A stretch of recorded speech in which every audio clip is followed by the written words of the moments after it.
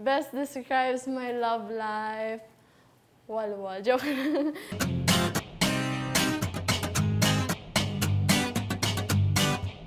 Uh, waking up early. I used to love seeing the sun and now hindi ko na nagagawa masyado pero I, I really love that. I think yung dito, I don't know why. Kasi mahilig ako mag, mag-workout dati. Um, magpa-cute.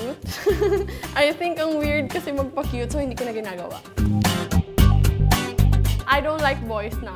Mm-mm-mm. that was Chris Aquino. I really like Miss Chris Aquino and then I hope to work with her. Really.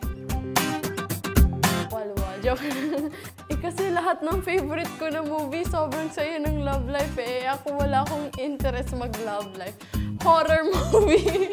I think yung A Quiet Place. Kasi tahimik yung love life ko dahil wala akong love life. So, A Quiet Place. Hi everyone, I'm inviting you to watch Walwal. It's coming on cinemas June 27. See you there!